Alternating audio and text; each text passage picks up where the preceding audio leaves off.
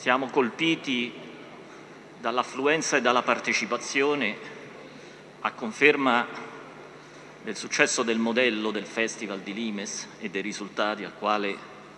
noi estendiamo come relatori i ringraziamenti per essere stati chiamati a dare un contributo e i complimenti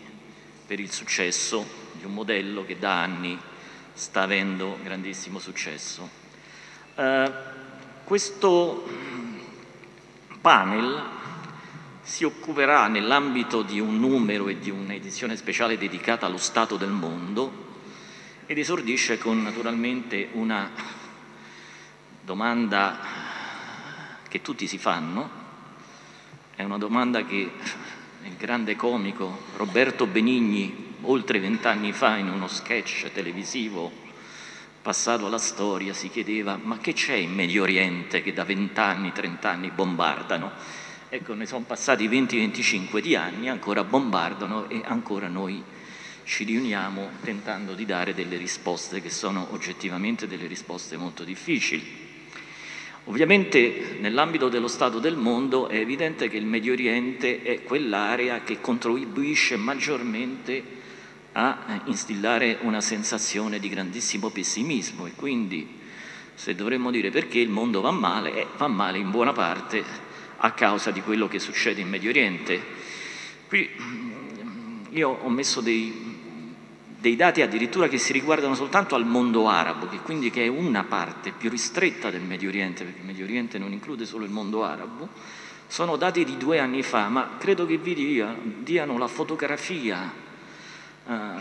inequivocabile del,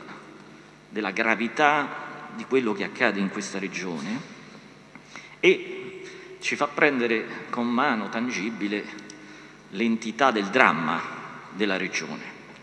Ora, chiamato così a moderare ma allo stesso tempo a fare un intervento e nel tentativo, nell'umile tentativo di dare una risposta a questa domanda, io si potrebbero dare tantissime risposte, ma ho pensato che forse una rappresentazione plastica, cioè una mappa potesse essere quello che meglio dà una risposta al quesito che tutti ci stiamo ponendo e al quesito al quale abbiamo enormi difficoltà a dare una risposta. Questa è una mappa che il direttore della Rosneft, una delle principali compagnie petrolifere russe, ha utilizzato l'anno scorso a Verona in un incontro riservato con una serie di persone. E ovviamente è una sua visione del Medio Oriente, del direttore della Rosneft, ma evidenzia due grandi regioni che consumano energia, abbiamo appena sentito l'amministratore delegato dell'ENI, e una regione che invece la produce, che è nel mezzo. E se voi guardate anche soltanto graficamente questa mappa, vedete che il Medio Oriente è proprio lì, stretto in mezzo a queste due macro aree di consumatori e naturalmente viene immediatamente in mente che in quella strozzatura, in quella terra di mezzo, eh, in quel crocevia tra tre continenti, inevitabilmente doveva accadere, dovevano determinarsi tutta una serie di eventi con i quali noi ci stiamo eh, confrontando eh, da tempo. Ora, stamattina abbiamo avuto George Friedman, grande analista americano, che ci ha parlato o ha tentato di dare una risposta che cosa vogliono gli Stati Uniti. E non ci è riuscito, ha confessato in un certo senso la difficoltà nel dare una risposta a tutto questo. E nell'ambito di una discussione con ospiti cinesi, ospiti russi, è emerso questo grande discorso delle rotte marittime, eh, della One Belt One Road, del grande progetto cinese di una grande massa eurasiatica e a me è venuto in mente che in effetti già questo possa, come dire, essere una bozza di risposta. Fino ad oggi e tuttora ci confrontiamo con una egemonia statunitense occidentale nel mondo, questa egemonia, eh, egemonia ha un connotato negativo, eh, chi è filoamericano la chiama leadership, quindi leadership ha un connotato positivo, ma per tantissima gente, forse la stragrande maggioranza del mondo, viene declinata come egemonia, ma non importa, questa è soltanto una questione semantica. E naturalmente è stato evidenziato che gran parte di questo potere o egemonia deriva anche dal controllo dei mari. La grande marina, prima britannica e poi americana. Adesso abbiamo un grande progetto cinese in cui c'è un'associazione russa che tende ad arrivare all'Europa, che tenta di avvalersi di alcuni paesi che sono anche come Iran e Turchia, e questo progetto vuole passare, o meglio, ha una componente navale, ma principalmente è un progetto terrestre. Creare tutta una serie di assi di comunicazione infrastrutturali, ferroviari, energetici, che colleghino l'Asia e l'Europa in un grande massa eurasiatica. E allora, se dobbiamo andare a vedere un ventre molle di tutto questo progetto, anche qui vediamo che c'è una terra di mezzo che si chiama Medio Oriente e questo potrebbe essere un altro elemento che, o un altro indizio che noi potremmo, come dire, perseguire nello stabilire se la risposta alla domanda debba essere, come dire, ricercata anche in questa peculiare collocazione che eh, ha il Medio Oriente in tutto questo. Io credo che personalmente la risposta più che si avvicina dal mio modestissimo punto di vista è che il Medio Oriente è quel luogo del mondo in cui oggi si percepisce più nettamente la crisi o forse la fine dell'egemonia statunitense sul pianeta, in cui si tocca con mano la difficoltà degli Stati Uniti di determinare gli esiti sul terreno. E 17 anni di guerra in Afghanistan, la guerra in Iraq che si conclude a coda di pesce. E tutto questo è in Medio Oriente che si tocca con mano questa difficoltà, nel non riuscire più ad imporre eh, quest'ordine. Ora, io non sono assolutamente certo di questo, nessuno lo è. Ricordo nel 1987 un grande saggio del professore Paul Kennedy in cui era stata già predetta una fine dell'egemonia statunitense, il famoso libro Ascesa e declino delle grandi potenze. Quindi già tante altre volte gli Stati Uniti sono stati dati per in declino e poi. Però quello che stiamo vedendo in questo, uh, in questo periodo è un inedito allineamento russo-cinese iraniano, per certi versi anche turco, che sembrano tutti avere un connotato comune. Si sono stufati degli Stati Uniti egemoni del, del mondo. Stamattina sempre Friedman ci ha invitato ad avere pazienza ed essere indulgenti. Ha detto cercate di capirci, noi siamo sì un impero ma siamo molto giovani. Sentire Friedman gli Stati Uniti non sono nati il 4 luglio del 1776, ma il 5 maggio del 2004. Cioè gli Stati Uniti, come lui ha detto, hanno 14 anni, sono un adolescente, un adolescente in tempesta ormonale che quindi per chi ha dei figli può perfettamente capire cosa accade a un adolescente in tempesta ormonale. Dà un po' fastidio, è irrequieto e eh, capita talvolta, almeno venendo io da Roma, ogni tanto quando qualcuno si comporta così a Roma poi c'è qualcuno che dice non mai rotto veramente. E essenzialmente si sta determinando questo uh, gruppo di stati che non è che hanno un filo conduttore come se non il fatto di contestare una certa visione del mondo e una certa egemonia.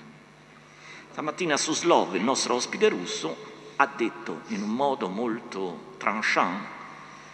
stiamo avvicinando alla fine di 500 anni di egemonia occidentale. Fermandoci al Medio Oriente sempre perché questo è il nostro luogo di, di esame,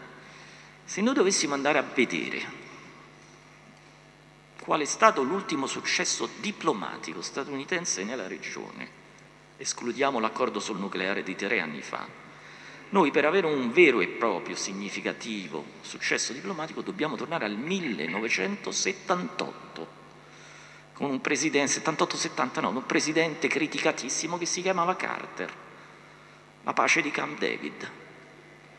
Da allora in poi tutta una serie di tentativi andati male, finiti male, gestiti peggio,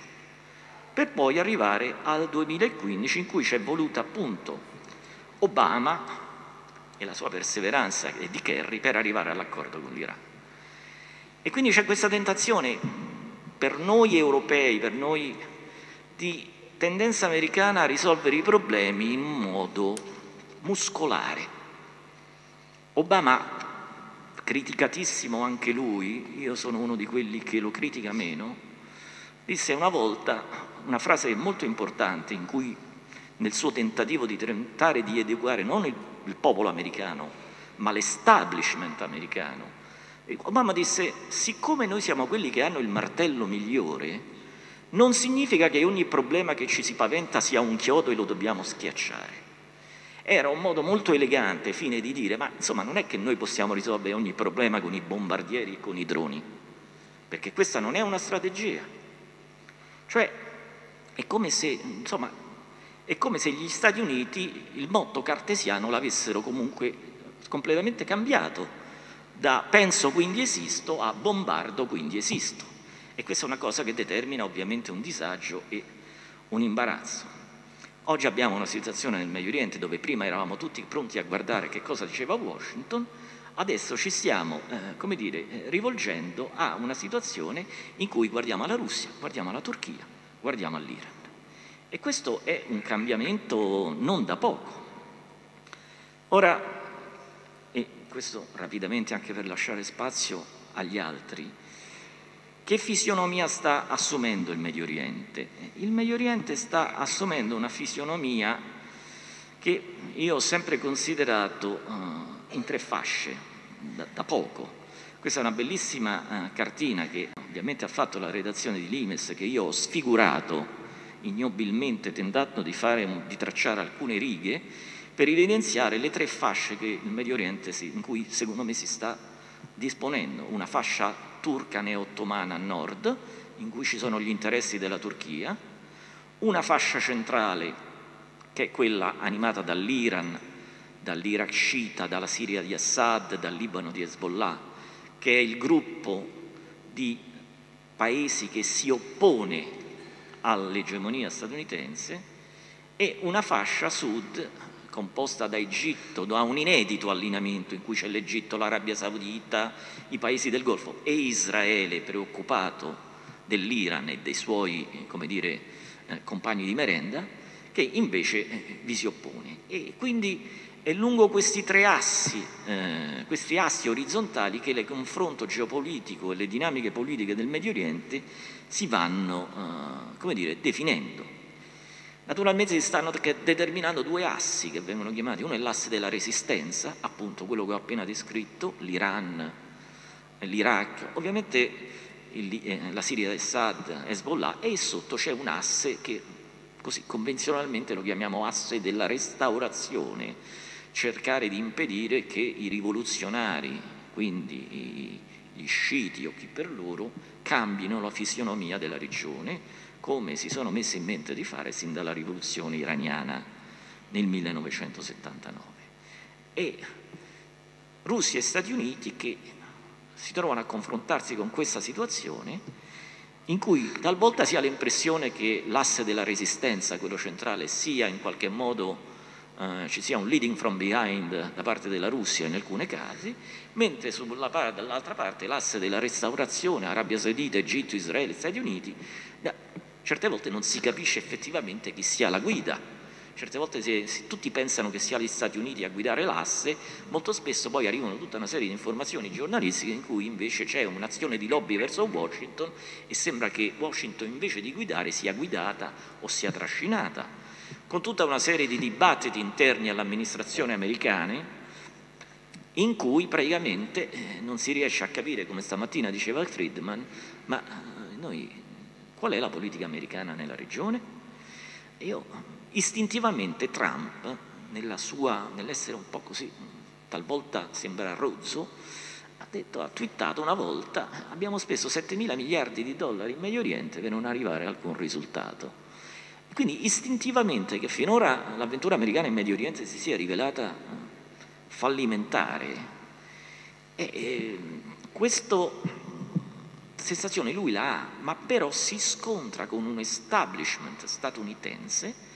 che continua a ragionare in un modo diverso, in un modo in cui ovviamente l'Iran è visto come il demonio da abbattere, l'accordo sul nucleare faticosamente raggiunto da Obama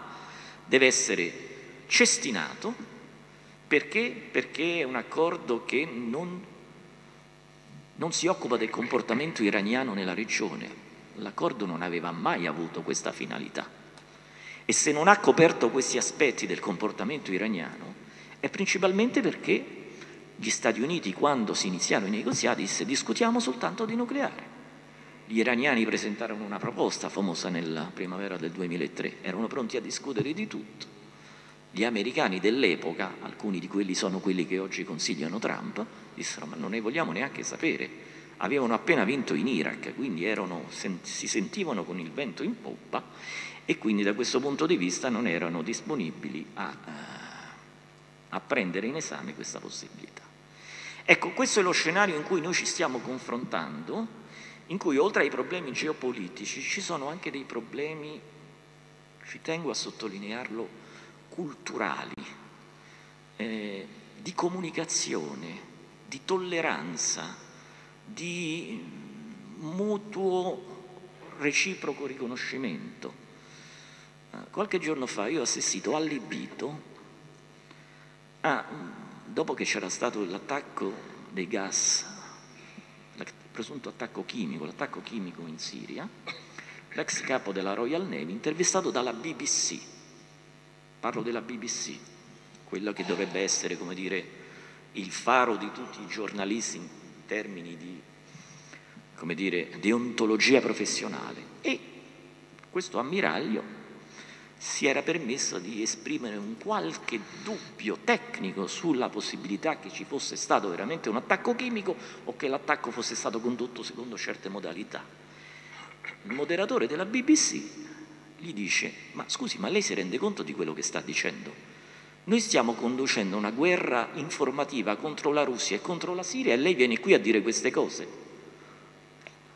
Io se fossi stato il capo della BBC, il moderatore, l'avrei licenziato seduta stante, perché BBC deve fare informazione, gli organi di stampa non devono prendere parte alle guerre informative. Oggi purtroppo, tranne un'isola felice come questo, un dibattito sereno e civile su queste questioni non è più possibile. Se c'è qualcuno che negli Stati Uniti inizia a dubitare in un modo così scientifico, oggettivo, accademico, della circostanza che la Russia abbia inquinato le elezioni presidenziali americane, viene immediatamente etichettato come un qualcuno al servizio del Cremlino. Qui c'è il New York Times di oggi, banished by Israel for thinking differently, bandito di, da Israele per aver pensato in modo differente. Non stiamo parlando di un facinoroso, Stiamo parlando di una professoressa della Columbia University di New York che doveva andare in Israele a fare un dibattito e che è stata detenuta per 14 ore all'aeroporto di Tel Aviv e poi rispedita indietro perché le sue opinioni sulla questione israelo-palestinese non erano gradite. Capite che la situazione veramente sta sfuggendo di mano. Siamo arrivati a una situazione in cui, mi dispiace doverlo dire, me ne sono occupato tantissimi anni con tantissimi amici israeliani, discutere la questione israelo-palestinese e manifestare una critica anche pacata su alcuni comportamenti delle forze armate israeliane espone la persona al rischio di essere accusato di antisemitismo. E l'antisemitismo è una cosa così importante, così seria, così grave, con un'implicazione storica così pregnante, importante, che non può essere utilizzata un tanto al chilo in ogni dibattito, in ogni situazione. È una cosa seria, va usata seriamente e non annegata in un dibattito in cui rischia di essere in alcune circostanze addirittura ne viene sminuita l'importanza e il valore che invece è enorme e dovrebbe essere tutelato. Ultimo e chiudo, c'è, quando ho detto prima un problema culturale, è un problema culturale che noi occidentali cominciamo ad avvertire, ma non è un problema culturale che è nato oggi. temo sia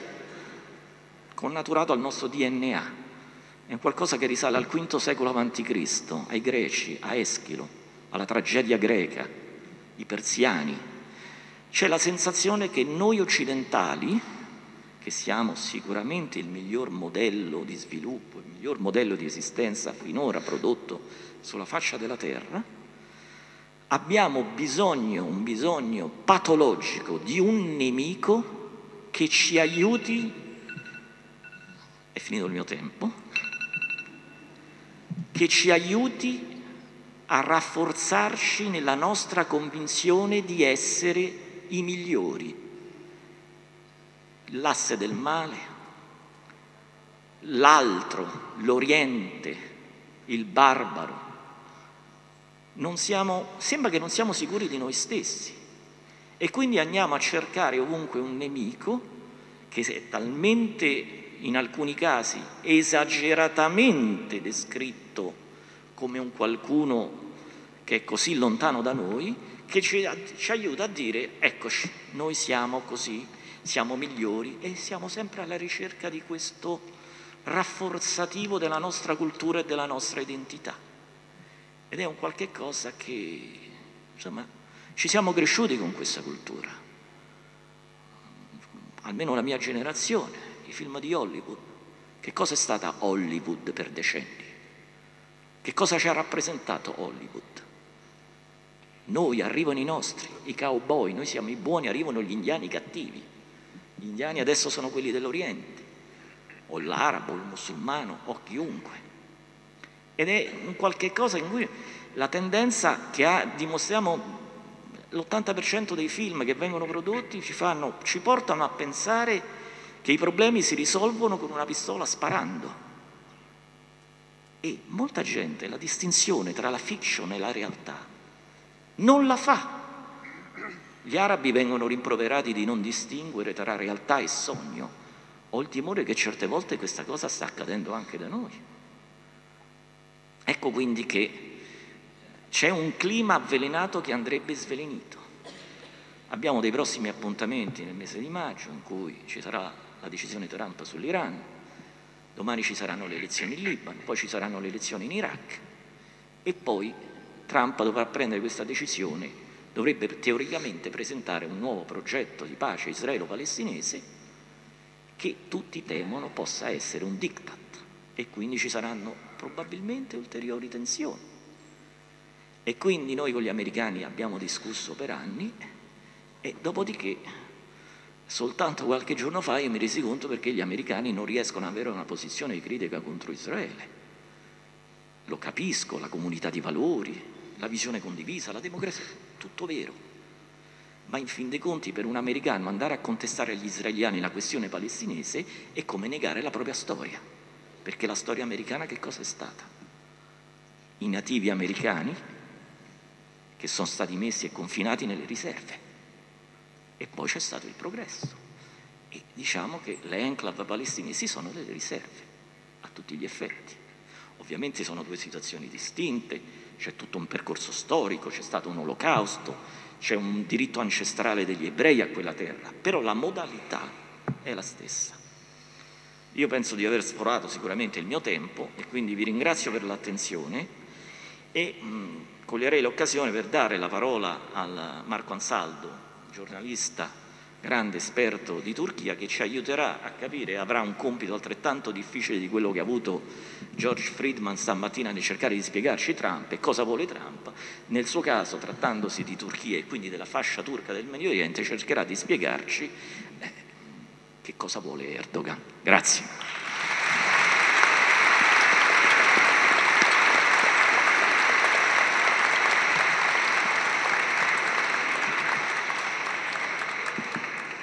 Eh, grazie a Marco Carnelos e alla sua introduzione molto stimolante.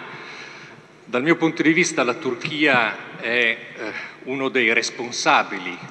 di questo innalzamento della tensione che viviamo in Medio Oriente. Io vivo eh, in un paese dove da eh, pochi giorni è stato elevato per la settima volta lo stato d'emergenza dopo il, golpe del, il tentato golpe del 2016 contro Recep Tayyip Erdogan e quindi eh, la tensione eh, in questo paese si avverte. Ricordo gli anni 90, la cavalcata economica anche della Turchia nel 2000 e oggi invece si vive un'atmosfera completamente diversa Basta vedere, andare per le strade a Istanbul, per non parlare da Ankara o nel, nel sud-est del paese, e vedere le facce dei turchi. Facce che hanno paura, c'è un'atmosfera cambiata, naturalmente il paese continua a essere meraviglioso, bellissimo, adesso si aprirà la stagione turistica sperando che molti turisti vadano, ma la paura, la tensione è forte, si sente. E anche perché è un paese dove eh, ci sono in atto due guerre, una nel sud-est dell'Anatolia, il cosiddetto Kurdistan. È una guerra ormai endemica, dura dal 1984 tra le forze armate di Ankara e il Partito dei lavoratori del Kurdistan fondato da Abdullah Öcalan, il PKK. Ed è una guerra ciclica, è una guerra che fa morti ogni giorno, una guerra di bassa intensità, ma basta aprire ogni giorno Hurriyet o Milliyet e si vedono i funerali dei cosiddetti martiri, cioè i soldati turchi. Non si parla mai dei combattenti curdi uccisi, eppure sono, ogni giorno c'è la conta, per quanto si possa lavorare in maniera indipendente nel sud-est dell'Anatolia, dell'una e dell'altra parte. Ed è una guerra che eh, nel corso degli anni intanto ha fatto 40.000 morti, ma è una guerra che si è tentati anche cioè, di, di, di, fermare, di stoppare. Soltanto pochissimi anni fa ci fu non soltanto una tregua, ma ci fu un, un tentativo di pace tra le due parti e però a un certo punto Erdogan decise comunque di continuare a bombardare e la guerra è ripresa. E questa è la guerra interna che vive la Turchia. Poi c'è la parte a sud, la guerra nuova. Ricordiamo questa operazione che è scattata il 20 gennaio questo, con questo nome singolare, Ramoscello d'Ulivo. E nel giro di due mesi le forze armate turche sono entrate in Siria e hanno preso la città di, eh, di Afrin, la città eh, difesa dai curdi,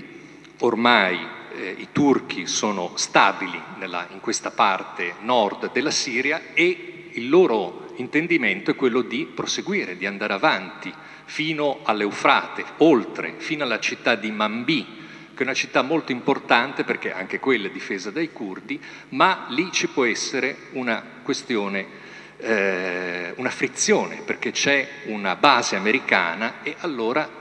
i turchi hanno già chiesto agli americani di sloggiare da questa base. Ecco le, le differenze poi che ci sono in Occidente, già all'interno di, di alleati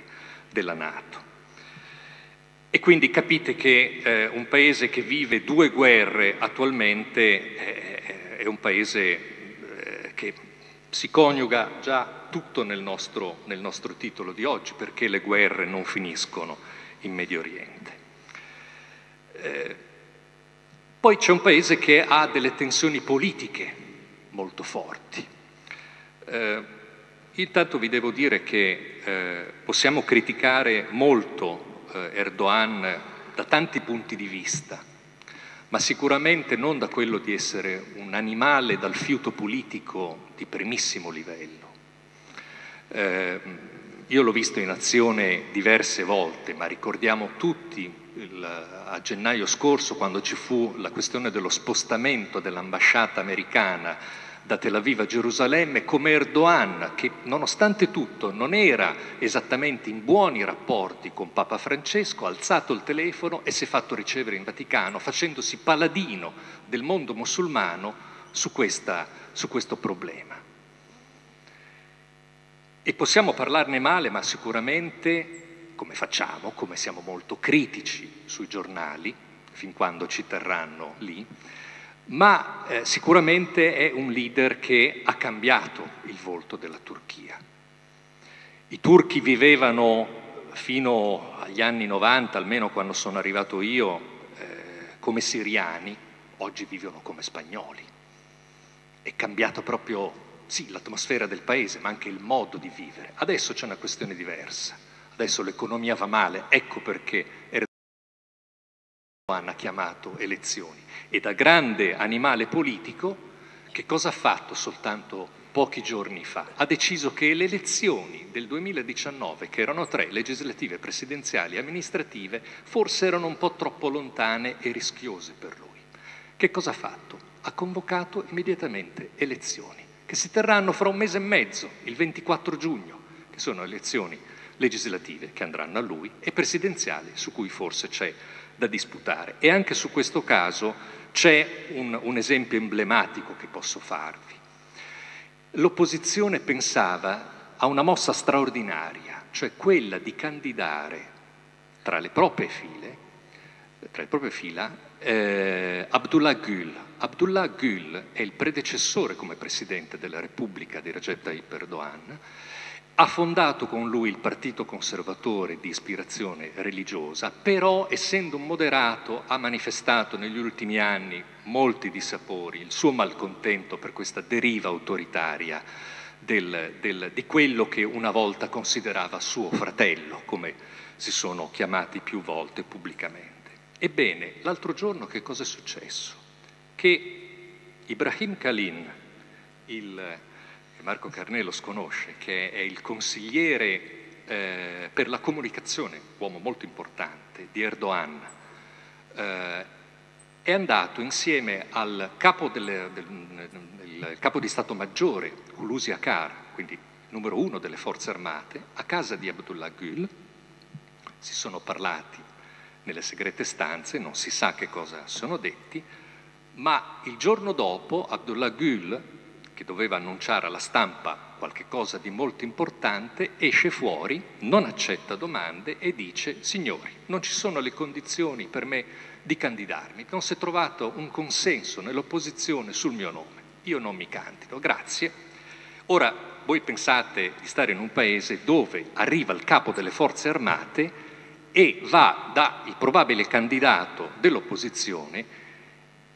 e gli dice qualche cosa. Noi sappiamo no, degli avvertimenti che arrivano dai militari, sappiamo del, di, di, un paese che ha conosciuto molti golpe negli ultimi decenni della storia, eppure questa mossa sarebbe stata straordinaria. No, un, un cavallo di Troia nel campo del partito islamico che spacca il partito e mette in difficoltà seriamente Erdogan, che invece avrà candidati presidenziali suoi sfidanti eh, più eh, agevoli da affrontare. E quindi pensate anche a un paese dove i militari, che per Costituzione sono i guardiani laici, scusate, i guardiani della Costituzione, eh, per Costituzione sono i guardiani della laicità dello Stato, si trasformano oggi in guardiani del partito eh, conservatore islamico al potere. E in questo eh, passaggio, di, in questa ambiguità, questo passaggio dei militari di consegne da se stessi a se stessi, ma in modo davvero emblematico, davvero sorprendente, eh, dobbiamo chiederci anche la Turchia oggi dove va e che cos'è e che cosa vuole fare e dove vuole andare. Perché la Turchia oggi noi non sappiamo da che parte stia. Allora, Formalmente la Turchia è all'interno della Nato. È stato un nostro, fin dal 1952 è stato un alleato formidabile, il bastione nel fianco sud-est della Nato che doveva contenere il pericolo che arrivava da quella parte. Oggi la Turchia fa accordi, intanto diplomatici, con la Russia di Putin e l'Iran di Rouhani, accordi diplomatici eh, sulla Siria, che cercano bene o male, forse anche giustamente dal loro punto di vista, di oltrepassare, di bypassare eh, eh, il, il fatto di non riuscire ad arrivare a una pace in Siria. Ma non c'è dubbio che sarà una Pax firmata da Mosca, da Teheran e da Ankara, quello che si può profilare in questa nuova triplice alleanza che Erdogan, Rouhani e Putin hanno siglato recentemente a Istanbul, il mese scorso. E poi ci sono accordi di tipo militare. ancora più problematici. Oggi Erdogan acquista missili da Putin, missili che non sono compatibili tecnicamente con il sistema dell'Alleanza Atlantica e quindi tecnici russi dovranno andare in Turchia per sistemare e rendere compatibili questi missili. Voi capite, ecco qui, parlavamo prima di questioni epiche, un altro cavallo di Troia, ma forse questa, da questo punto di vista ci tocca molto, un cavallo di Troia che significa la Russia che entra direttamente nel campo dell'alleanza atlantica. E quindi ecco perché è lecito chiederci dove va la Turchia, che cosa è oggi. Un quarto e ultimo elemento che vorrei eh, evidenziare è al tempo stesso l'isolamento occidentale della Turchia e non è indifferente. Allora, tante volte qui a Genova in passato abbiamo parlato, e proprio sotto il cappello di Limes, eh, della teoria della profondità strategica tirata fuori dal consigliere di Erdogan, Ahmet Davutoglu, poi diventato suo ministro degli esteri, poi diventato suo primo ministro. Io ricordo durante il periodo delle elezioni ad Ankara, altrove, eh, le facce di Erdogan e Davutoglu insieme, poi a un certo punto Davutoglu non ha più funzionato, oggi è sparito completamente. Ma allora il suo pensiero era molto in voga ed era quello della cosiddetta profondità strategica della Turchia, ma soprattutto quella, la teoria del lo zero problemi con i vicini. È una teoria che ha fallito completamente. Oggi la Turchia ha non solo eh, problemi con i suoi confinanti, Grecia, Bulgaria, Iran, Iraq, Siria, Cipro, ma nella fascia esterna ha problemi con tutti. Guardiamo il caso di Israele che veniva accennato prima. C'era un'alleanza formidabile negli anni 90, un asse militare straordinario tra Israele e Turchia, completamente saltato. Oggi Benjamin Netanyahu e Recep Tayyip Erdogan si litigano quasi tutti i giorni sulla questione della striscia di Gaza, sei un terrorista, sei un macellaio e l'alleanza con Israele ovviamente oggi è, è saltata. Non solo questo, ma guardiamo l'Europa. Nel 2005 la Turchia è diventato paese candidato all'ingresso nell'Unione Europea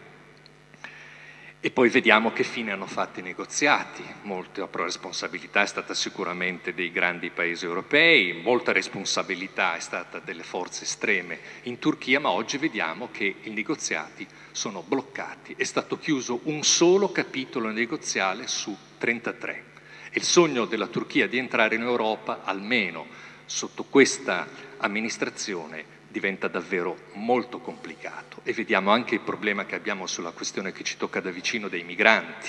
Io ho visto il mese scorso a Varna, in Bulgaria, sul Mar Nero, la, la, eh, eh la riunione, l'incontro fra i leader eh, europei, Juncker e Tusk, e dall'altra parte Erdogan, con il rilascio, il via libera definitivo dei 3 miliardi più 3 per i profughi, questione Tur- di cui la Turchia si sta occupando in maniera molto seria a sud. E le facce di Tusk e, e di Juncker erano eh, diciamo uno più duro, l'altro più eh, consapevole di poter aprire comunque la Turchia dicendo ma no, ha detto Juncker, noi siamo favorevoli al vostro ingresso, ne riparliamo, e Erdogan che prendeva finalmente, aveva il via libera per prendere quei 6 miliardi di euro che ogni paese comunitario gli darà, ha detto noi speriamo finalmente di riuscire ad appianare le nostre divergenze e di non avere più problemi eh, in futuro, cerchiamo di avere basi nuove con l'Europa. Sono passati tre giorni gli attacchi di Erdogan nei confronti dell'Europa sono ricominciati. Gli Stati Uniti, che ricordavamo prima, c'era una grande eh, speranza da parte di Ankara che eh, con il cambiamento dell'amministrazione da quella Obama a quella Trump eh, ci potesse essere una, una, delle agevolazioni, ci potesse essere finalmente una Turchia che potesse parlare a tu per tu con l'America bene, non avere soltanto problemi. È stata una disillusione totale. Oggi eh, Erdogan eh, ha molto a che dire contro eh, gli Stati Uniti perché non rilasciano, non estradano Fethullah Gulen, che come voi sapete è l'imam accusato da Ankara di aver organizzato il golpe del 2016 e gli Stati Uniti sono uno Stato di diritto e ovviamente di fronte a prove che non si manifestano non consegnano Gulen che si trova rifugiato in Pennsylvania. Ma soprattutto per quanto riguarda la Siria il litigio riguarda i curdi. Gli Stati Uniti, nell'ambito dell'alleanza occidentale, ovviamente tengono al fatto che i curdi siano gli alleati su cui contare nel contenere il pericolo che arriva dal cosiddetto stato, dal sedicente Stato islamico, l'ISIS. Divio, eh, opinione diversa invece la Turchia di Erdogan che combatte quotidianamente i curdi. E oggi c'è consenso elettorale su questo perché Erdogan va a elezioni proprio per capitalizzare il consenso che ha nel paese nel combattere non i curdi, ma i terroristi, come li chiamano, consenso che c'è all'interno del suo partito conservatore islamico, all'interno dell'alleato del partito, che sono, è il movimento di azione nazionalista, che sono i vecchi lupi grigi dell'attentato a Giovanni Paolo II, li ricordiamo. E consenso che arriva anche nell'altro schieramento politico, il partito repubblicano. Se oggi si parla con un seguace, eh, un, un elettore del partito repubblicano, dice il presidente ha ragione perché quelli sono terroristi e vanno combattuti. Quindi gli unici a difendere i curdi sono gli esponenti del partito filocurdo, i cui leader oggi sono quasi tutti in prigione. Per chiudere eh, l'argomento dell'isolamento eh, della, della, della Turchia, problemi ci sono anche all'interno dei paesi arabi. Eh, eh, oggi i paesi arabi si schierano da qualche tempo contro il Qatar, accusato di finanziare il terrorismo. La Turchia si è alleata con il Qatar. Qatar che viene eh, escluso addirittura dagli altri paesi, Arabia Saudita, Oman, Emirati Arabi Uniti, dalle manifestazioni sportive che vengono organizzate. E il Qatar sarà il prossimo organizzatore dei mondiali del 2022. Ecco quindi perché parlo di isolamento occidentale e non solo della Turchia eh, nel mondo. Voglio andare alla conclusione. Eh, a questo punto è chiaro che sulla Siria, Iran, Russia e Turchia pensano di arrivare a una spartizione del paese, con la Turchia che prenderà la fascia nord da Aleppo fino eh, all'Eufrate, controllandola direttamente dalle proprie forze armate insieme all'esercito libero siriano, loro eh, alleato. Chi sarà a pagare tutto questo? Nel breve medio termine saranno i curdi. I curdi che ci hanno difeso a Raqqa, che ci hanno difeso soprattutto a Kobane,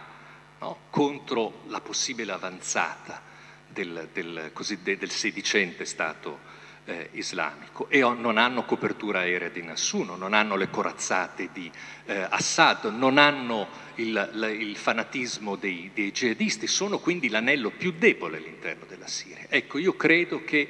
concludo, che il silenzio occidentale nei confronti dei curdi sia molto colpevole, perché oggi pagheranno loro, io temo che un domani a pagare di questa guerra, di queste guerre, sarà poi davvero l'Occidente. Grazie.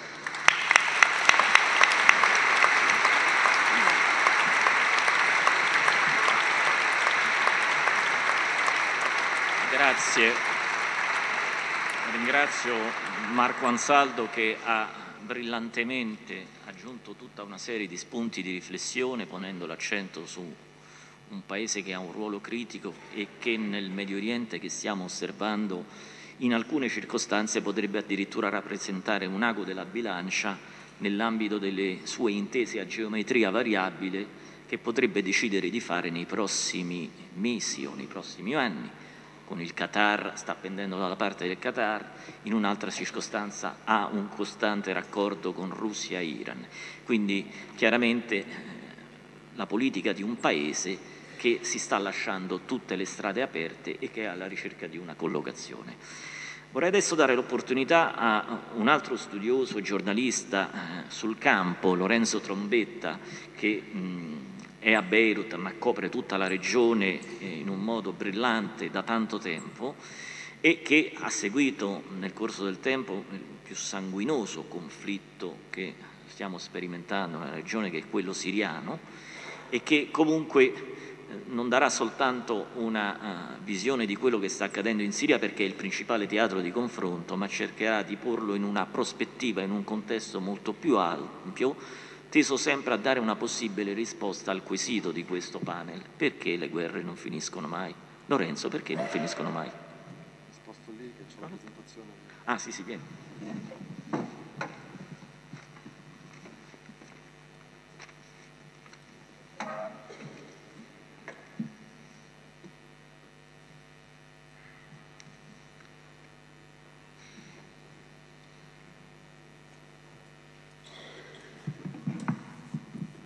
Buonasera a tutti, grazie all'Imes, a Palazzo Ducale e alle persone che mi sono accanto. Uh, questa um, domanda mi ha stimolato una, uh, dei pensieri che vanno al di là della questione siriana. E la questione siriana di solito mi accompagna perché occupandomi di Siria da vent'anni, quando poi è scoppiato uh, il confronto, anche sanguinoso, da, da, molti anni, sono stato chiamato in causa più volte e eh, sull'Imes online, sul cartaceo di Limes, eh, seguo da vicino la questione siriana, ma anche perché eh, vivendo in Libano sono abituato a non avere molte certezze. Il Libano è un paese ehm, che soltanto i neofiti pensano di aver capito la prima settimana che si sta in Libano si ha l'idea di essere in un paese molto complicato. Conosco persone, anch'io sono caduto nella trappola dopo un anno di, di pensare di aver capito gran parte del paese, ma invece superata questa collina di ottimismo poi ci si avvia in un, in un percorso verso l'ignoto, per cui più si sta in questo paese più in qualche modo si riconosce di aver capito molto poco e quindi è una, un continuo tastare le pareti in una stanza buia e quindi è un esercizio quello di mettere in discussione certe categorie come Medio Oriente, come mai o sempre, che eh, sono costretto a fare ogni giorno e che la, il racconto della questione siriana mi ha abituato a fare. Ecco perché oggi non racconterò in modo uh, geopolitico, in modo freddo, quello che sta avvenendo in Siria, a che punto siamo con la questione siriana, i miei colleghi lo hanno già in qualche, in qualche scenario anticipato, ma proverò a sparigliare qualche carta e ehm, usando gli strumenti che più mi sono a cuore, la cronologia, quindi la storia e la geografia. Se noi prendiamo una cronologia degli ultimi 70 anni, effettivamente la regione che possiamo definire grosso modo come Medio Oriente, effettivamente è una regione dove le guerre a vari livelli sono sempre presenti, ma 70 anni sono pochi nella storia non soltanto del Medio Oriente, che non è un'eccezione, non possiamo fare orientalismo, nel Mediterraneo orientale, che è il Mediterraneo nostro, 70 anni è un, una porzione anche piccola e vivendo in quell'area sono abituato a considerare eh, la storia i meccanismi della storia come frutto di un processo. Prima di tutto mi ho cominciato a chiedermi ma cos'è questo Medio Oriente e in maniera molto banale, senza aver fatto corsi di storia specifici su questo, chiunque oggi può rendersi conto che la definizione di Medio Oriente è una definizione innanzitutto moderna, che nasce in un determinato periodo storico, nasce a metà del 1800, quindi siamo in un contesto estremamente vicino a noi, perché appunto non siamo qui a fare attualità, siamo qui in un contesto di approfondimento. E quando nel 1850 l'impero britannico, per ragioni politico-militari, comunque crea questo termine, parliamo dell'altro ieri. Ed è una regione che è stata descritta come Medio Oriente da vari attori e sempre la definizione Medio Oriente ha un uso politico. Per esempio, l'impero britannico che cercava di arrestare l'avanzata prima zarista, poi prussiana, verso l'Oceano Indiano. E questo era una delle definizioni di Medio Oriente già sempre per opera britannica, tra le due guerre. ma la dottrina Eisenhower definisce nel 1957 un altro tipo di Medio Oriente perché dal punto di vista americano di quell'epoca aveva un'altra configurazione. Questa è una carta anni, dei primi anni 70, rappresenta una visione sovietica del Medio Oriente. Anche qui i confini che sono uh, disegnati e che contengono la parte in grigio sono dei confini diversi da quelli del, de, delle definizioni precedenti. E questo invece è il grande Medio Oriente di cui abbiamo tanto raccontato anche sull'IMES, con la seconda amministrazione americana di George Bush, e abbiamo dall'Atlantico, non soltanto dall'Atlantico al Golfo, come si dice per quanto riguarda il mondo arabo, ma abbiamo dall'Atlantico all'Oceano Indiano, in particolare con il verde più chiaro abbiamo l'Asia centrale. Serviva in quel momento parlare di grande Medio Oriente con, queste, eh, con, con questa configurazione. Facciamo un esercizio che sull'IMES ho avuto la fortuna di fare spesso, sin dall'inizio, da quando nel 2001 ho scritto il mio primo articolo, metterci nella posizione dell'altro. Perché se non capiamo l'altro possiamo fare mille analisi, ma rimarremo sempre prigionieri delle nostre categorie, alla fine non spieghiamo che per quanto riguarda il mio lavoro di giornalista è l'essenza. Questa è una mappa occidentale in, in una lingua occidentale che racconta la, la storia dell'espansione arabo-musulmana che nel nostro Medioevo, le categorie sono nostre, loro non era ovviamente il Medioevo, era la realtà dell'oro, che riguarda un'area che forse assomiglia molto al grande Medio Oriente disegnato da Bush. Questa è una carta invece in arabo, anche molto dozzinale, mi scuso con Laura che è qui, ma racconta una divisione fra Oriente e Occidente all'interno del mondo arabo, Oriente e Occidente visti da chi? Certo non da noi, la linea che divide la Libia dall'Egitto è l'Imes, che secondo l'altra parte del Mediterraneo, che sono i nostri vicini, divide il Mashrek dal Maghreb. Arriviamo all'oggi, facciamo una brevissima immersione eh, in quello che forse vi aspettavate, un'analisi di dove sta andando la guerra siriana, in particolare mi riallaccio ad alcune eh, sollecitazioni che Marco Carnelos e Marco Ansaldo hanno già dato. abbiamo un'influenza iraniana dal Mediterraneo all'altopiano iranico, ho segnato lo Yemen come uno dei luoghi dove l'Iran più o meno cerca di, eh, di avere un, un ruolo, abbiamo un'influenza saudita e una presenza saudita che dal punto di vista saudita, perché qui in Italia c'è il partito anti-Erdogan, c'è il partito eh, anti-saudita, ognuno ha i suoi partiti, però appunto proviamo a fare un po' gli avvocati del diavolo. Dal punto di vista saudita c'è un accerchiamento iraniano, qui nessuno difende quello o quell'altro attore, ma la politica di Mohammed Ben Salman, il principe ereditario saudita, che si appresta a diventare il, il futuro re saudita, il più giovane monarca della regione, è una politica che va compresa, non può essere etichettata soltanto come appunto, una politica muscolare, aggressiva e repressiva. Sfido chiunque a trovare un leader della regione che non reprime i, i diritti dei suoi sudditi, ma dal punto di vista eh, saudita c'è un accerchiamento e la crisi col Qatar che avete raccontato poco fa, secondo Riyadh, fa parte di quell'accerchiamento. Ma abbiamo un'evidente influenza preponderante russa nel Mediterraneo orientale e con le sue alleanze con Israele, con l'Arabia Saudita, con l'Iran, con la Turchia, nella presenza militare diretta in Siria, il ruolo anche diplomatico politico positivo dal punto di vista di Mosca nella questione irachena non può non avere oggi un ruolo eh, assolutamente da protagonista che contrasta invece con il tentativo, ne abbiamo sentito parlare tanto in questi giorni, degli Stati Uniti che comunque eh, hanno un, uh, un piede tramite l'Alleanza Atlantica nell'Anatolia e che strategicamente eredi dell'impero britannico guardano non tanto alla Siria e al Mediterraneo, ma guardano a est. Il mare di riferimento è il Golfo che porta poi all'Oceano Indiano, dove poi tra l'altro è la,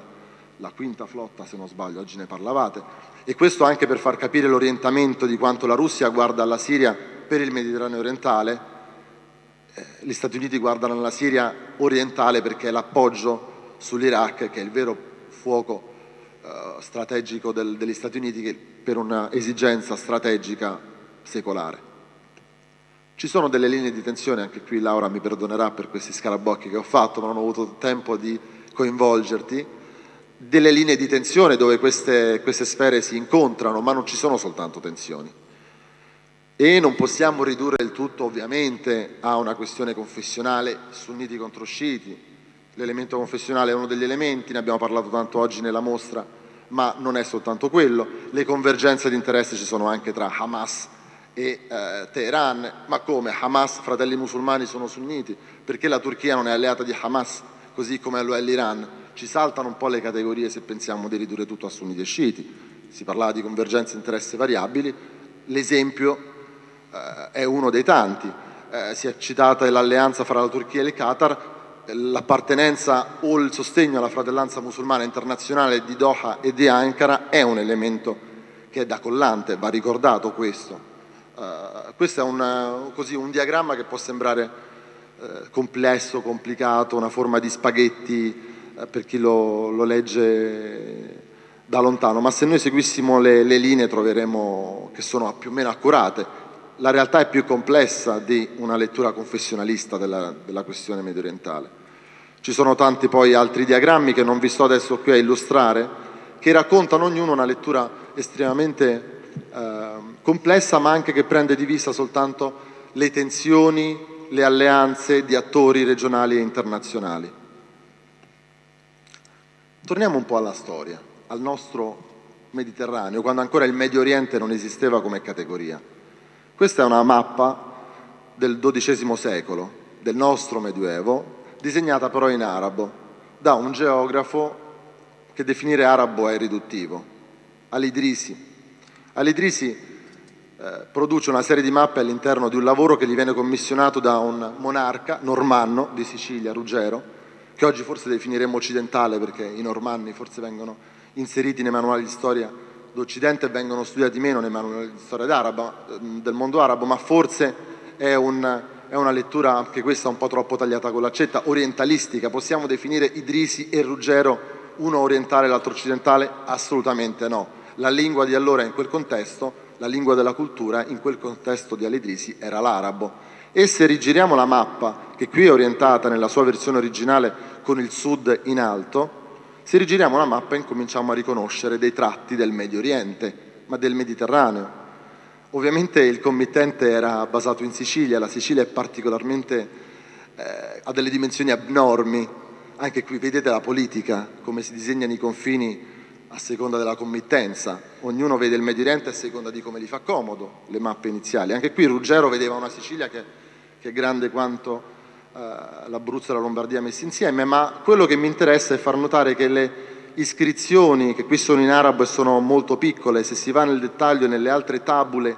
di, eh, di Idrisi, si notano tutta una serie di elementi di comunanza di queste regioni, elementi di continuità socio-economica che abbiamo evocato in questi giorni parlando di globalizzazione, di legami e non soltanto di tensioni, di guerre, di popoli e di leader che si fanno la guerra, di sangue e di bombe. Sentivo parlare di eh, polveriera, il Medio Oriente, Beirut, quante volte se scrivo Beirut nell'archivio dell'Ansa trovo numerose dichiarazioni di politici italiani che parlano di depressione, di violenza, di disagio, citando Beirut, perché nell'immaginario, specie per chi si è formato negli anni 70 e 80, Beirut era eh, il simbolo del caos. È divertente fare un piccolo libretto su come Beirut viene evocata senza parlare di Beirut, ma soltanto per dire le autobombe. Quando io dico che sono in Medio Oriente la gente pensa che io sono in un luogo dove ci si ammazza ogni giorno. Ecco, non è così. Forse la guerra in Medio Oriente non c'è come soltanto la pensiamo, non è un luogo di morte, di violenza costante e, e, e totale. Per esempio, a proposito di storia, 70 anni sono pochi rispetto a 400 anni di un governo imperiale. Oggi si parlava della differenza fra imperialismo e imperiale. Oggi si parla anche sempre per delegittimare certa politica di Ankara, di neo-ottomanesimo, anche qui gli storici forse possono avere dei pruriti, anche io li ho, perché è un po' troppo semplice. Io credo che Erdogan abbia poco a che fare con l'ottomanesimo, ma con tutto il rispetto per la storia ottomana, hanno dato la possibilità a una regione e non gli ottomani come leadership, ma gli ottomani, le elite locali, le stesse potenze che erano alleate e poi rivali degli ottomani, perché la storia è un processo di molti attori, non possiamo attribuire agli ottomani dei meriti o dei, difetti. Io vengo dal Libano dove la storiografia parla degli ottomani come degli occupanti, perché effettivamente gli ultimi anni dell'impero ottomano sono stati degli anni bui, scuri di, oscuri, di violazioni, di turchizzazione, il Tatrik per chi conosce l'arabo, di impiccagioni, di eh, insurrezioni, di eh, gente che aveva tentato l'insurrezione, ma non possiamo pensare che gli ultimi dieci anni dell'impero ottomano siano soltanto quelli che i 400 anni di Pax ottomana, Pax anche ovviamente col sangue, con la baionetta o con altri tipi di armi, siano stati eh, così eh, oscuri. Questa è una regione della Siria e del Libano, in parte del Medio Oriente, durante l'epoca ottomana ed è una carta ottomana che raccoglie tra l'altro in, in turco ottomano Anatolia. È un'altra carta ottomana, è la divisione amministrativa all'interno di un impero che fino al 1918 non ha vissuto quelle guerre di cui poi noi parliamo. Forse possiamo anche discutere se far cominciare la nostra cronologia della guerra in Medio Oriente al 1948, che è la prima guerra arabo-israeliana, oppure no. Davvero qui uno si può sbizzarrire e la verità nessuno la può avere in tasca, credo. Ma a proposito di periodo ottomano, nella regione da cui provengo, quindi mondo arabo, eh, questa è una carta di uno storico francese che nel 1920 fa un, un viaggio e si mette a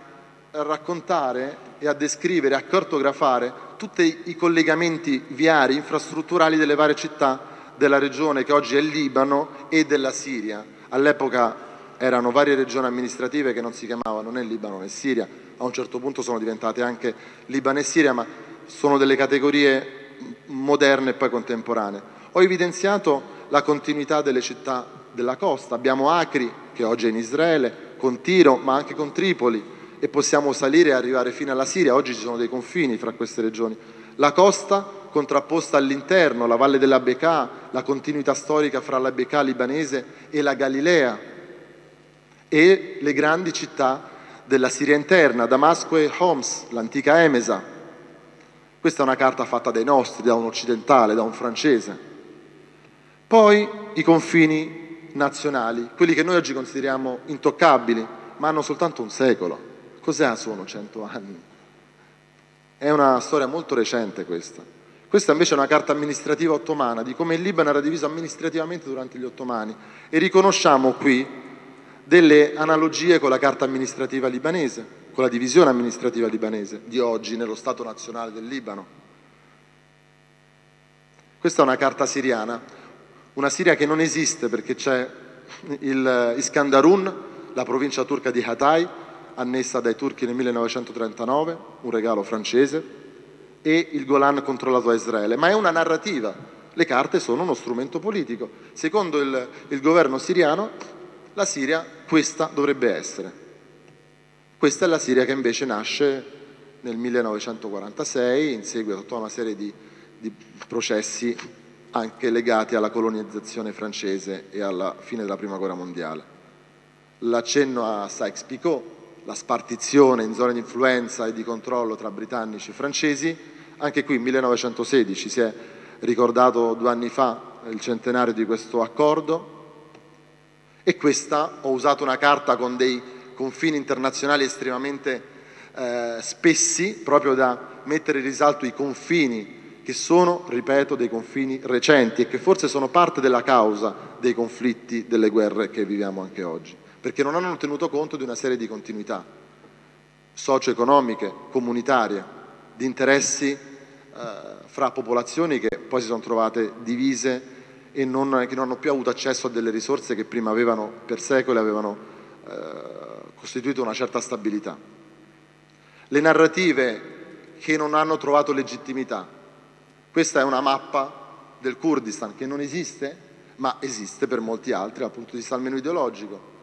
Eh, si parlava appunto dei curdi come coloro che pagheranno il prezzo.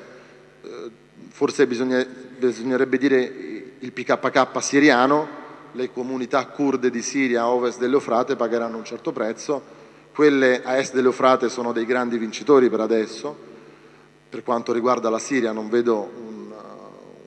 una, anzi vedo, vedo un futuro piuttosto roseo per loro, l'accordo è che la Turchia non va a est dell'Eufrate e Manbij non era kurda, quindi direi che per i kurdi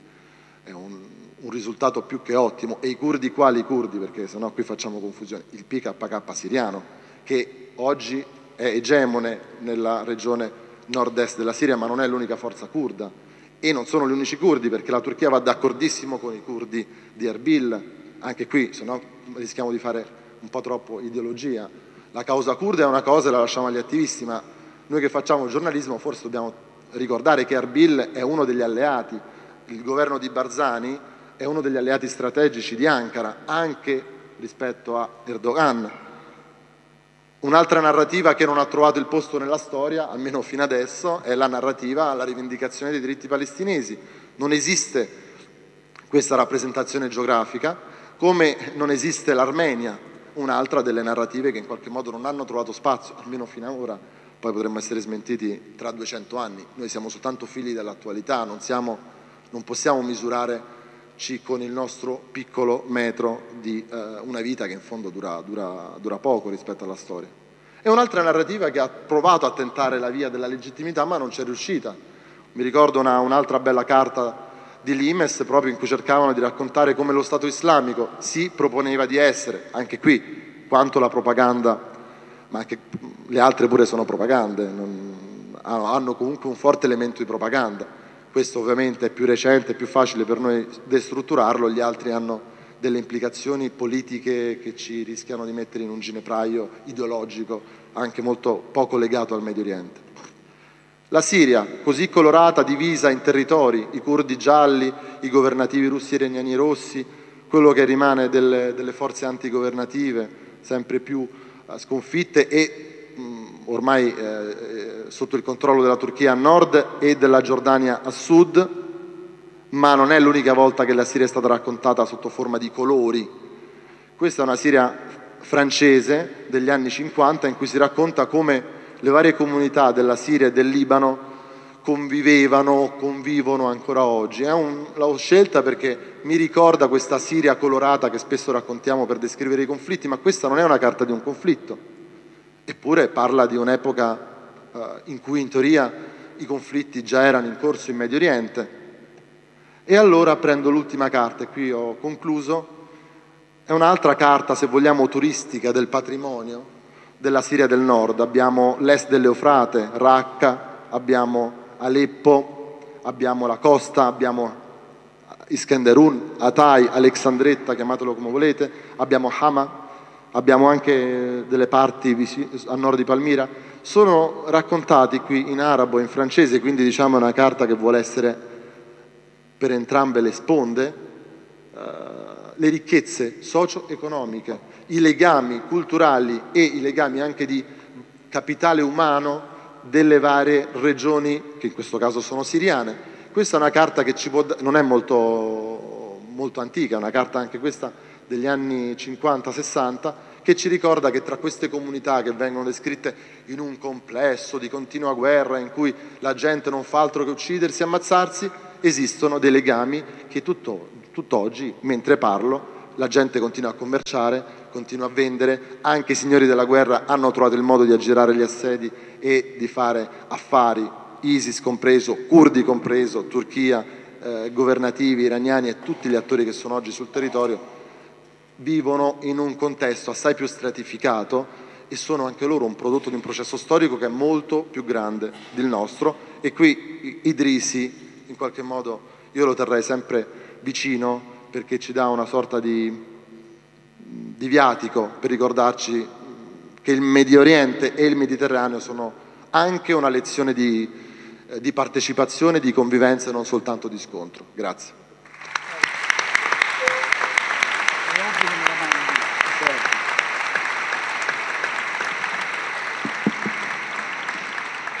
Ringrazio, ringrazio, Lorenzo Trombetta e gli sono vivamente grato perché con questa brillante sovrapposizione di mappe ci ha aiutato a capire in un modo ancora più diretto eh, quanti interessi vi siano su questa parte del mondo. Se io all'inizio avevo mostrato una piccola mappa in, in cui si vedeva il Medio Oriente stretto tra queste due grandi macro regioni di consumatori di energia, Lorenzo con questa carrellata stupenda di mappe ha avuto, come dire, eh, è andato oltre sovrapponendo in quella piccola regione tutta una serie di interessi, di eredità storiche, culturali, religiose, eccetera, che ci aiutano ancora meglio a capire quanto quel fazzoletto di terra sia conteso e ognuno ne tragga le proprie conclusioni, capire, voglio dire, perché in quella zona le guerre non finiscono mai. Eh, noi abbiamo messo molta carne al fuoco, non me ne vogliono i vegetariani,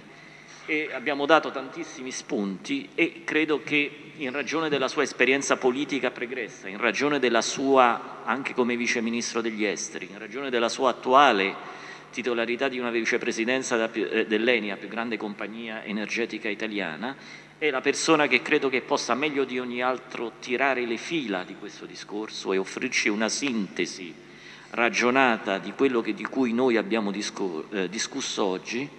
eh, darci auspicabilmente un possibile tracciato, una prospettiva. Ho avuto il privilegio di lavorare con Lapo Pistelli per anni, l'ho sognato come Ministro degli Esteri e a lui do la parola per chiudere questo, eh, per chiudere questo panel. Grazie. Con queste parole mi ha rovinato fin dal principio chiaramente, quindi io chiedo scusa e dissento da tutto quello che Marco ha detto nella sua introduzione. Io invece desidero ringraziare moltissimo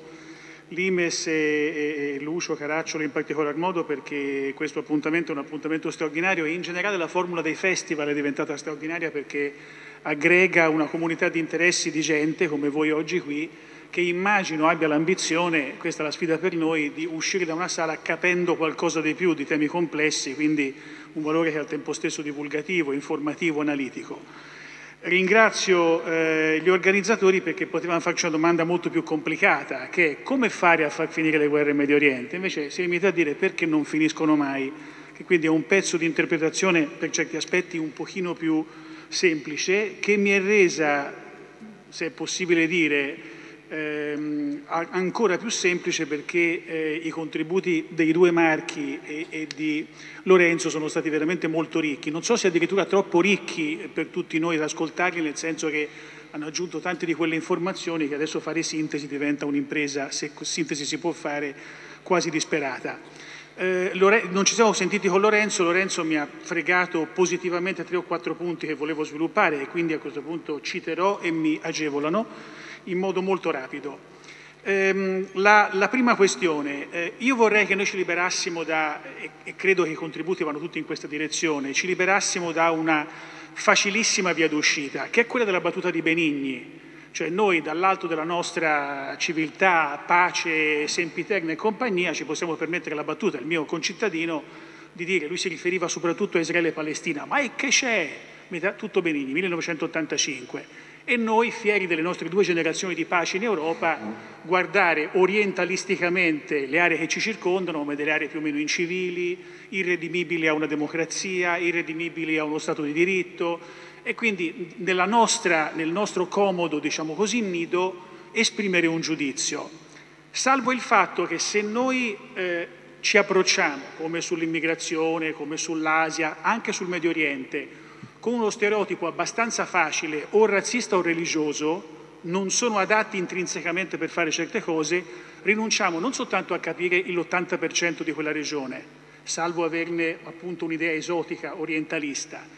ma rinunciamo anche a comprendere il grado di responsabilità che noi abbiamo sulle aree vicine diciamo, al, al luogo in cui abitiamo e soprattutto a poterne in qualche modo identificare delle possibili vie d'uscita. Allora, cito rapidamente Lorenzo nelle sue 500 cartine eh, con tre da Dicnor che mi permetterei di tirare fuori da quello che abbiamo visto. Eh, la prima, questa categoria Medio Oriente o nella sua variante Vicino Oriente è una categoria diplomatica molto giovane, veramente molto giovane, cioè 100 anni, 120 anni e come lui vi ha fatto vedere molto bene, dentro questa etichetta ciascuno un po' mette quello che vuole, c'è una versione più restrittiva ci sono versioni che si dilatano coinvolgendo gli importanti vicini regionali di un Medio Oriente stretto, penso alla Turchia, e altri che lo fanno arrivare sostanzialmente tramite il momento della guerra in Afghanistan fino al Pakistan, quindi facendolo diventare molto molto grande. Quindi categoria mobile, duttile, che ciascuno interpreta secondo l'esigenza che ha, di un'area, aggiungo, che, che quindi evoca, essendo una categoria molto duttile, una sorta di scatola sorpresa. Se io avessi fatto un dibattito al tempo di Benigni negli anni Ottanta, intitolato Medio Oriente, in una scuola, anzi quando ero a scuola, automaticamente il ventenne dell'epoca avrebbe detto Medio Oriente vuol dire Israele e Palestina. Quello era il Medio Oriente, non c'era altro. Se l'avessimo fatto nel 2001 avremmo cominciato a parlare di Medio Oriente e andavamo automaticamente o in Afghanistan o in Iraq. Nel 2010 saremmo andati alle conseguenze della cosiddetta primavera araba, magari dimenticando perché allargare questo concetto un po' troppo sarebbe esagerato, prendendo l'Egitto, dimenticando la Tunisia o la Libia, ma prendendo l'Egitto, ma poi guardando ciò che è successo eh, nel Bahrain, in Qatar, nello Yemen, più recentemente o in modo più antico il Libano sarebbe entrato e uscito da questo tipo di mappa e quindi il Medio Oriente è una scatola a sorpresa. Visto che in dieci minuti residui io la scatola a sorpresa non la posso sviluppare in tutte le direzioni, vi do qualche chiave, secondo me, aggiuntiva, oltre che di sintesi rispetto a quello che lui ha detto. È un'area giovane, non è soltanto categoria, una categoria giovane, è un'area giovane. Allora, dato che qui in platea ci sono persone informate e anche persone diciamo, mature di età, tutti noi più o meno pensiamo di sapere a scuola come sono nati i paesi europei, ce l'hanno ammanniti dalle scuole elementari in poi e sappiamo il processo faticosissimo, secolare di formazione degli Stati nazionali europei, confini, guerre, spostamenti, eccetera. Ma se noi ci muoviamo fuori da questa area che pensiamo di conoscere e la cui drammaticità ci sembra naturale, esattamente perché ci abitiamo dentro, e ci muoviamo o nell'Africa di cui si è parlato con Claudio Descalzi alle tre e mezzo o del Medio Oriente, noi troviamo un'area relativamente giovane in cui confini e influenze sono state disegnate nell'arco di quattro generazioni, non molto di più. Fatemi fare un cameo di 12 secondi sull'Africa. Al di là di alcuni confini, l'Africa impressiona tantissimo, talvolta anche la fantasia degli studenti che abbiano un minimo di passione per queste cose, perché è l'unica area di mondo in cui ci sono i confini fatti con righello, con le perpendicolari. Congresso di Berlino, hai mai visto un, un continente tracciato con le perpendicolari? Ma sì, che vuoi che siano, sono africani, si è fatto così a Berlino, abbiamo tirato le perpendicolari. Poi dibattendo per decenni se magari queste perpendicolari avevano tagliato a metà tribù, ne avevano sommate persone che non volevano stare insieme, ma troppo distanti da noi per applicarci con un minimo di metodo. Diverso è il caso del Medio Oriente. Nel Medio Oriente in realtà troppe mani hanno tracciato confini e troppe mani si sono interessate di quest'area,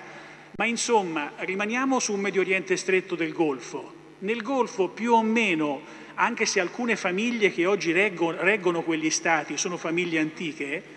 i Saud in Arabia Saudita, unico paese al mondo che prende il nome del paese della famiglia che regna, Arabia Saudita per questo ha poco più di un secolo di vita. Eh, I paesi che oggi sono on the spot, perché sono mecche del turismo, le Archistar, il lusso, gli Emirati, il Qatar, sono paesi che arrivano alla loro indipendenza ai primi degli anni 70, ieri l'altro, ieri l'altro. Eh, L'Oman con ancora interferenze inglesi negli anni 70 nei tentativi di ribellione. Lo Yemen non esisteva nella forma attuale fino a 25 anni fa, 30 anni fa. È stato diviso in due, ha avuto una guerra civile, si è riunificato. Il paese tradizionale con l'indipendenza più lunga, se non sbaglio, del 61 è il Kuwait, 61, sono del 64. Cioè allora di che parliamo? Parliamo di confini assolutamente giovani, assolutamente giovani, e parliamo di eh, confini giovani che sono figli di alcune grandi stagioni, la dissoluzione dell'impero ottomano, che Lorenzo ha abbondantemente richiamato, che invece ha unificato gran parte di questi territori per molto tempo, e gli esercizi diplomatici che si sono diciamo, intrecciati in, in quest'area appunto cento anni fa. Sykes-Picot, Trattato di Losanna, siamo fra gli anni 10 e gli anni 20 del secolo appena passato. Uno degli esercizi che diciamo, in una vita precedente mi capitava di fare con i colleghi di Marco, i diplomatici, era dire facciamo un'attività predittiva, ma secondo voi fra 70 anni quanti di questi confini saranno ancora quelli che ci sono oggi? Perché con la sola eccezione di civiltà radicate in modo millenario, penso all'Egitto, molti di, altri, molti di questi altri paesi sono effettivamente esperimenti estremamente giovani e con questo tipo di cautela dobbiamo avvicinarci. Secondo punto, terzo punto, ehm, in una delle cartine, ma non c'è bisogno di farla rivedere, eh, si nota bene, ma una l'ha fatta vedere anche Marco Carnello nell'introduzione, il luogo, fatemi dire, baricentrico eh, che la piattaforma del Golfo ha nei confronti dell'Europa e dell'Asia. Beh, intendiamoci, per lungo tempo, al tempo dell'impero britannico, eh, il ruolo della, della, piattaforma del Golfo era esattamente la piattaforma logistica per le navi inglesi che andavano e venivano per andare fino all'Oriente che interessava al tempo, l'India e dintorni. Ma se ci pensate oggi, oggi il Golfo è tornato protagonista per la stessa identica funzione, ma per il flusso inverso. È oggi la piattaforma logistica principale attraverso il quale le merci asiatiche o prodotte dalle, da, dai cinesi e dalle grandi tigri arrivano al mercato europeo. E non solo al mercato europeo, perché qui però manca in questa cartina, il Medio Oriente ha un, una piccola cerniera fondamentale per capire ancora una volta un altro continente, cioè l'Africa, attraverso cui il Golfo entra in Africa, attraverso l'Etiopia, l'Eritrea, il Sudan, e questo vi spiega se ci sarà un dibattito, se c'è stato, anche perché uno dei nuovi temi geopolitici da guardare è la islamizzazione dell'Africa cioè come attraverso il Golfo, in questo punto di cerniera, si entra in un mercato ricchissimo di materie prime, molto turbolento, eh, con una demografia impetuosa, ma che è di grande interesse per le grandi monarchie sunnite della, diciamo, del, del, dell'area del Golfo. Quindi è baricentrico, ma in qualche modo in una direzione inversa. E non è un caso, qui siamo a Genova, abbiamo diciamo, felicemente condotto in porto l'Expo di Milano due anni fa, legato al cibo, il prossimo Expo è a Dubai, e il tema fondamentale dell'Expo di Dubai 2020 è Connecting the Minds e Connecting the, the World, è la connessione, che poi non sia soltanto connessione infrastrutturale ma anche connessione e attrazione di talenti, questo è un altro paio di maniche, ma non è un caso che quella sia oggi una delle principali vocazioni dell'intera regione. E insomma, però a stare a contatto fra un pezzo di Africa, connettersi con l'Asia, essere lo snodo con l'Europa, è chiaro che non sono tutte rose e fiori, arrivano molti interessi. E dunque una delle altre caratteristiche che spiegano perché le guerre non finiscono mai per certi aspetti, ed è stato già spiegato, ma io vorrei in qualche modo ri, eh, sottolinearlo, è che a differenza di molte altre aree, o non di tutte, ma di molte altre, il Medio Oriente è un piatto nel quale tutti negli ultimi 50 anni hanno in qualche modo provato a insuppare il pane, per la ricchezza di risorse e per la strategicità geopolitica che essa aveva con la differenza che mentre per molto tempo questa influenza è stata, non dico semplice, ma più facilmente spiegabile, un'area anglo-francese e un'area, un'area anglo-francese tendenzialmente nella parte che segue di più Lorenzo, Libano e Siria, un'area inglese che poi diventa anglo-americana e poi molto americana, che è l'area del Golfo, quando, eh, devo dire anche per ragioni energetiche in questo caso, gli inglesi lo facevano perché avevano le loro basi commerciali per andare verso Oriente, quando gli americani e poi anche gli inglesi decidono che anche la propria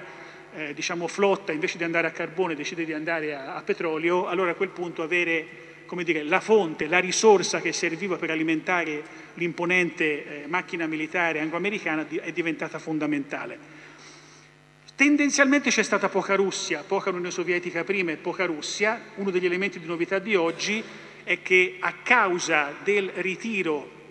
fra il tattico e lo strategico che entrambe le ultime due amministrazioni americane hanno praticato, sia quella Obama che quella Trump, il potere non tollera vuoti e qualcun altro sta entrando, occupa i vuoti che gli altri lasciano, così come è vero che in forma molto più sobria, ma non necessariamente meno importante, anche la Cina in questo suo enorme, gigantesco, unico strategico disegno che esiste al mondo, cioè questo della One Belt, One Road, sta arrivando di gran carriera, per ora insomma sono partiti, hanno un po' di strada da fare, ma stanno arrivando perché i punti di arrivo di questa grande catena che porta infrastrutture, strade, banche dati, energia eh, e tutto ciò che collega e connette l'impero celeste all'Occidente passerà e arriverà anche, arriverà anche lì. Ehm, quindi tutti ci hanno messo in qualche modo le, le, le, le mani, ma se mi permettete di aggiungere qualche cosa, eh, io oltre a, queste, a, questo disegno vorrei darvi al, due altre, tre chiavi di lettura da tenere di conto. Il primo, io penso che una delle ragioni per cui, diciamo così, torno al titolo, le guerre non finiscono mai, è perché da diversi anni, ma in modo particolare negli ultimi 10-15, eh, questi paesi hanno, stanno affrontando una riflessione, la chiamo riflessione come se fosse teorico-intellettuale, ma in realtà è molto politico-pratica, che è una riflessione sul loro modello, su, su che modello di paese sono. Nel senso che nella storia del Medio Oriente noi abbiamo visto una tensione che ha creato grandi rivalità dentro il mondo arabo, che era la ricerca del leader del mondo arabo, in nome di un concetto che è molto caro diciamo, nella, nella cultura islamica della umma, della unità, che è poi l'unità della mia famiglia, poi della mia tribù, in una sorta di versione estesa di unità, il mondo arabo ha conosciuto per varie decadi nel dopoguerra una leadership per chi lo guidava, chi guidava il mondo arabo e ha cercato nel corso del tempo dei leader capaci di incarnare sotto forma nazionalista la capacità di rappresentare qualcosa di più del proprio paese, ma essere un modello di riferimento per l'intero mondo arabo. Queste versioni nazionaliste hanno avuto poi anche delle colorazioni politiche molto più marcate, che oggi ormai stanno esaurendosi, il Ba'ath ad esempio, in Iraq come in Siria, dei modelli politici a partito unico di fatto, con una caratteristica che oggi non c'è più, modelli secolari. L'Iraq di Saddam non era la Svizzera, un luogo dove gli, eh, si gasavano i curdi e si sterminavano gli oppositori comunisti, ma è un luogo nel quale quel, quell'Iraq lì nessuno ha mai avuto problemi ad avere un cristiano caldeo vicepresidente o avere ebrei che partecipavano alla vita politica e ugualmente la Siria di Assad per certi aspetti. Eh, quel modello sta evaporando, è un modello che è evaporato, non c'è più un modello secolare di guida di questi paesi e questo modello di Stato oggi è, è sfidato da caratteristiche della modernità che ne mettono oggettivamente a rischio la sopravvivenza. Non sono più modelli che possono essere governati dall'alto verso il basso, perché una volta bastava avere la TV di Stato e due carri armati e la società civile stava ferma. Oggi con gli smartphone e la rete, non ve la devo stare a magnificare, l'abbiamo visto dal 2011 in poi, c'è una vitalità che difficilmente questi paesi riescono a contenere. Noi siamo abituati a modelli che vivono sul eh, patto di... Eh, non è che piaccia a tutti, eh, non dico di no, ma su un patto di cittadinanza che ad esempio si esercita nell'Occidente attraverso il fisco e che trae origine dal motto della rivoluzione americana no taxation without representation. Pago le tasse, dunque mi esprimo su chi mi rappresenta e sulle scelte politiche che devo fare. Nelle monarchie sunnite del Golfo non c'è sostanzialmente tassazione e quel modello è rovesciato diventando no taxation, therefore no representation. Non paghi le tasse, non rompere le scatole, ci pensiamo noi ma questo alla lunga rende dire, una domanda di spazio di partecipazione, di democrazia, delle donne o non delle donne, difficilmente comprimibile. Allora questi, queste monarchie, questi paesi hanno al di là delle guerre che vediamo sulla cronaca un tema di identità, cioè se questo modello statuale è reggibile, sostenibile nel lungo periodo. E quello a cui assistiamo, che è una parte per me positiva, molto interessante, non so quale sarà l'esito, è ad esempio vedere come in un eh, sistema che è stato tendenzialmente molto conservativo e gerontocratico, stanno salendo nel Golfo una generazione di nuovi regnanti, nuovi emiri, nuovi sceicchi, è il caso di Mohammed bin Salman, è il caso del nuovo emiro del Qatar, è il caso della generazione che si affaccia negli Emirati, che sono tentati di aprire la società rispondendo a esigenze di modernizzazione, ma tenendo il controllo sul paese. Allora, questo tipo di dibattito per me è un dibattito di fondo, non si snocciola dentro la guerra di oggi o di domani, dice qualcosa della identità di cosa sarà questo mondo, questo mondo. E aggiungo l'altro elemento con cui questi paesi devono fare i conti e che purtroppo negli ultimi anni ha segnato molti punti di arresto è il rapporto culturale, prima ancora che geopolitico, tra la categoria a noi cara e tradizionale, la democrazia, e l'appartenenza religiosa, cioè il rapporto fra democrazia e Islam. Perché per, per lungo tempo, come ho esemplificato col Ba'ath o con i nazionalismi, sì, eri musulmano, ma poi alla fine eri tendenzialmente del tuo paese, quindi la componente religiosa non pesava, come non ha pesato in tanti paesi dell'Europa avere una fede religiosa sulla propria, diciamo così, scelta politica, ma gli unici due tentativi che ci sono stati più recenti negli ultimi 15 anni, molto diversi fra di loro, sono stati il tentativo della fratellanza musulmana di dare forma politica tramite processo elettorale a un'identità religiosa, con esiti molto diciamo, controversi. In Tunisia con un esperimento di governo fallito e Nada, che però poi ha portato quel partito a dialogare con partiti laici, in Egitto in un modo totalmente diverso. La fratellanza musulmana vince con Mohamed Morsi e dopo due anni c'è un processo esattamente controrivoluzionario che chiude quella fase. Il Qatar è messo oggi sul banco degli imputati perché? Perché accarezza, aiuta, non a casa propria mai, ma a casa degli altri, esperimenti e relazioni con la fratellanza musulmana. Ma la domanda di fondo non è quella di allineare le pedine, il Qatar sta con chi oggi o domani,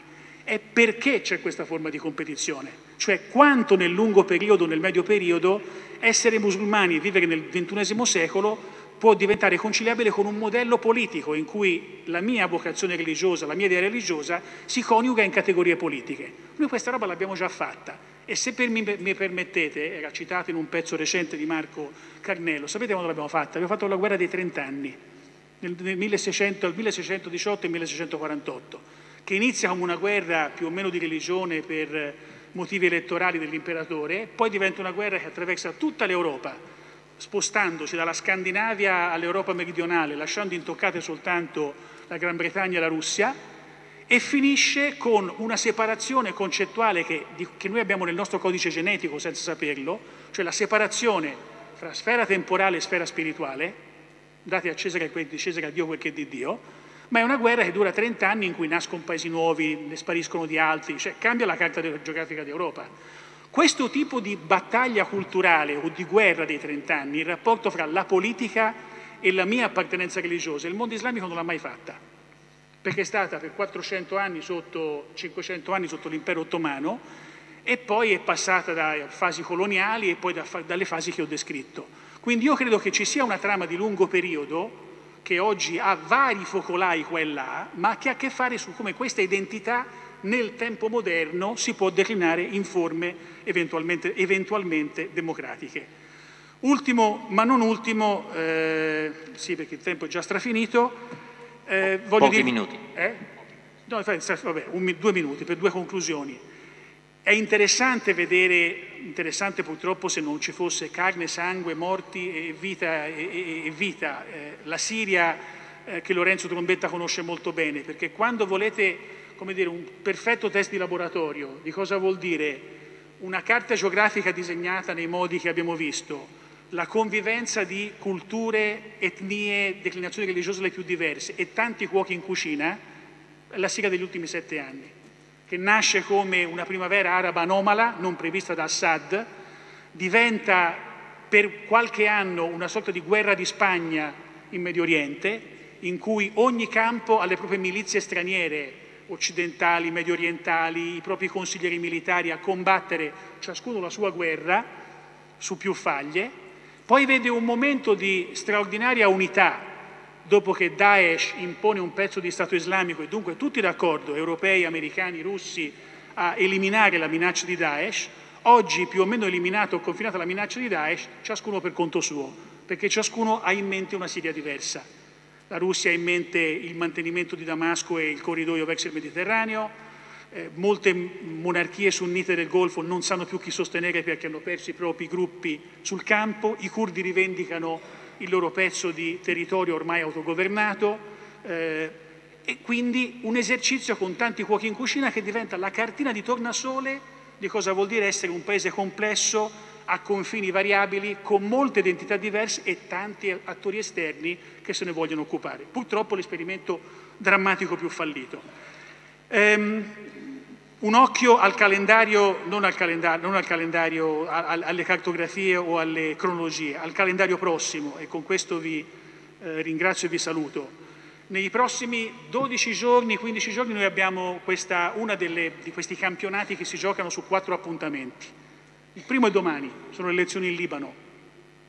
Elezioni importanti perché non si vota da otto anni, se non ricordo male, perché il Parlamento è in stato di sospensione e dove non c'è un tema di,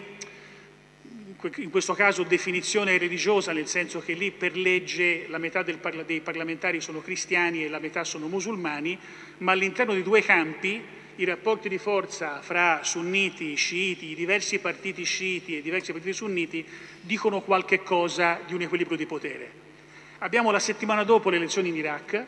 dove eh, Al-Abadi si gioca anche in questo caso un tema di rafforzamento o permanenza del, della, della, de, del potere in un altro paese in cui c'è, io Lorenzo penso abbia un certo rilievo, non tutto il rilievo ma un certo rilievo l'arco di contrapposizione sciiti-sunniti che, eh, che ci sarà anche in Iraq.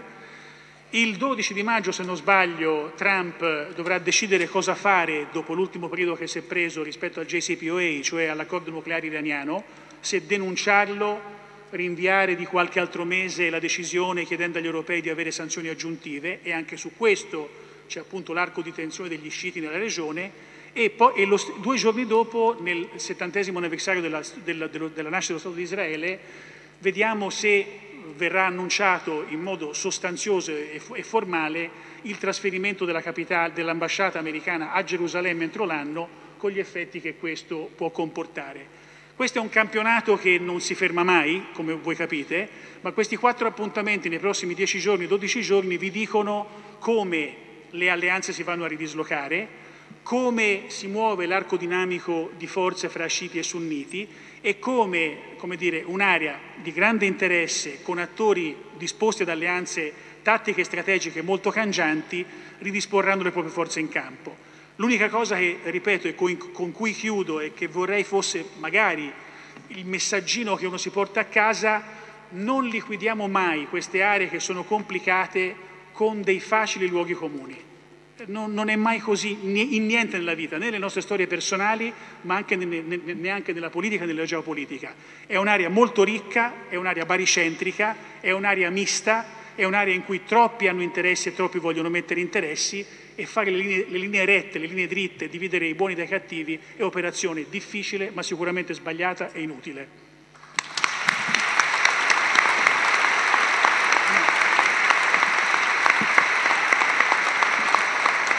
Grazie. Eh, quando 20 minuti fa ho dato la parola a Lapo Pistelli ero sicuro che avrebbe operato una cesura eccellente di tutti gli spunti tipo caos creativo dati dai tre precedenti relatori. Lo ringrazio, confermo tutto quello che ho detto su di lui. Ringrazio l'Imes, Lucio Caracciolo, per questo brillante successo. Siamo in un sabato pomeriggio di una giornata pre-estiva e non solo è piena questa sala, è piena anche la sala a fianco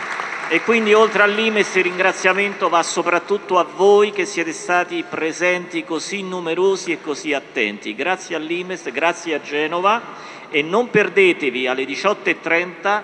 la, il panel La nuova via della seta, la controglobalizzazione cinese. Il gioco si fa duro e i duri entrano e cominciano a giocare.